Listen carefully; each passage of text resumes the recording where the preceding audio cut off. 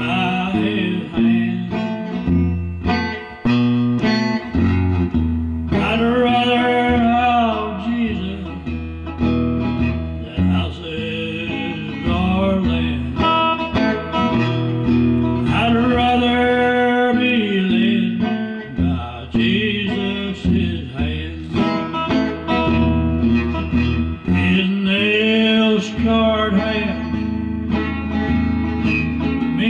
everything to me.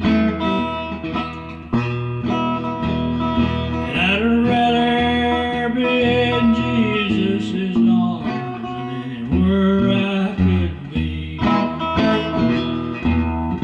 I'd rather have Jesus in silver and gold.